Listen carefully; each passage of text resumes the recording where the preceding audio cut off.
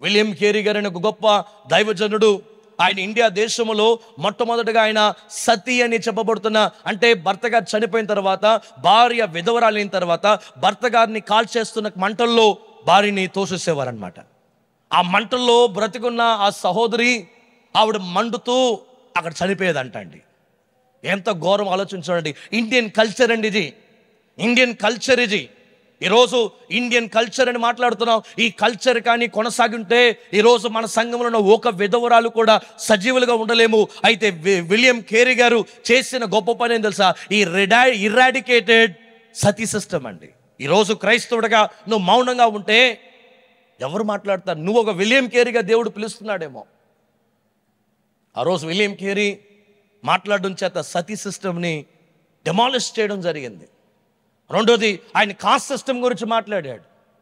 ఈరోజు India is run with casteism. Caste లేకపోతే ఓట్లు ఉండవు. ఆ కులానికి ఈ కులానికి గొడవలు పెట్టేసి సెటిల్మెంట్ చేయడానికి రాజకీయ నాయకులు ఉండరు.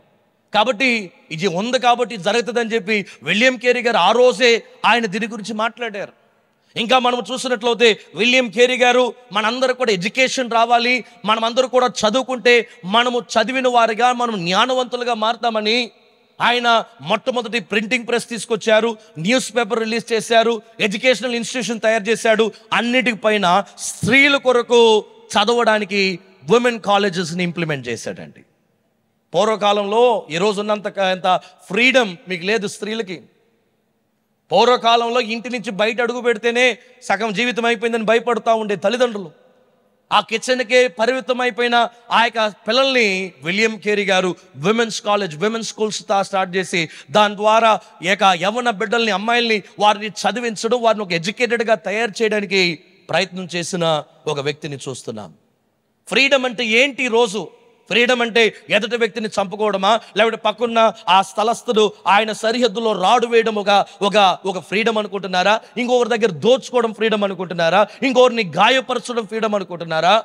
లేకపోతే నా పవరే ఎక్కువ అనేది ఫ్రీడమ్ అనుకుంటున్నారా? ఫ్రీ ఇక ప్రేమకి ఆపోజిట్ ఏంటి? ప్రేమకి ఆపోజిట్ సాధారణంగా ఏమంటారంటే గూగుల్ ఏమంటదంటే హేట్ అంటది. కాదండి. ఒక వ్యక్తిని ప్రేమించలేకపోవడం కారణము గర్వం అండి. గూగుల్ తప్పు చేసింది. మన సిస్టమ్ తప్పుగా మార్పు మధ్య రాశారు. ఒక వ్యక్తిని ప్రేమించకపోవడము ద్వేషం కాదు. ద్వేషం వెనకున్న గర్వం అండి. ఒక వ్యక్తిని ప్రేమించలేకపోవడము గర్వము. అందుకని యేసుప్రభు అన్నాడు మీరు ఒకరిలో ప్రేమించుకోండి అన్నాడు. ఒకరిడలొకరు ప్రేమించుకోండి. ప్రేమ అన్నిటికన్నా విలువైంది భాషల కన్నా ప్రవచనాల కన్నా లేకపోతే ఈ భూమిలో ఉన్న ఏ ఫెయిత్ కన్నా ప్రేమ చాలా విలువైందని చెప్పాడు ఆయన. ఈరోజు ఎంతమంది మనం ప్రేమించుకుంటున్నాం? ఎంతమంది మనము ఒకరిడలొకరు ప్రేమ కలిగి ఉన్నామో ఒకసారి ఆలోచించి చూడండి. ప్రేమ కలిగి ఉన్నామా? మీ కుటుంబాన్ని మీరు ప్రేమించుకోగలుగుతున్నారా మీ బంధుమిత్రుల్ని ప్రేమించగలుగుతున్నారా? మీ గ్రామస్తుల్ని ప్రేమించగలుగుతున్నారా? మీ యొక్క ఆఫీసులో ఉండే వారిని మీరు ప్రేమించగలుగుతున్నారా? లేకుంటే కక్షలతో బ్రతుకుతున్నారో ఒకసారి ఆలోచించి చూడండి.